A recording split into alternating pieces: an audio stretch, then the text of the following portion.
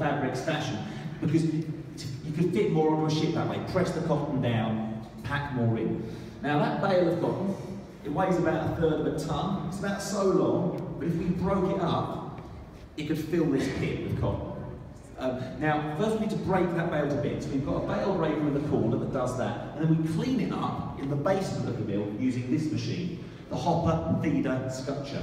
What this basically does, the cotton passes through it, it passes through lots of um, spikes, um, and those spikes beat the dirt out of it. The dirt falls to the floor.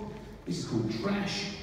There you go. Um, this is the nasty stuff that comes out of it. This is quite clean trash. This is second trash. It's already been cleaned once. But these are all the things like dead insect, broken twig, all the things that you don't want. And this would be used, it wouldn't be wasted, stuffing things like cushions and furniture, even teddy bears being stuffed with this sort of thing. Um, one man's trash is another man's treasure, they used to say. Um, anyhow, we're not going to turn this one on for you, explain why. It, it can run, but it puts out so much dust um, and you'll be glad we don't turn it on.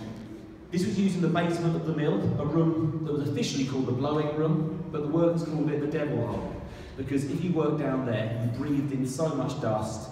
If you started working in there about the age of 14, you'd be lucky to live to the age of 30.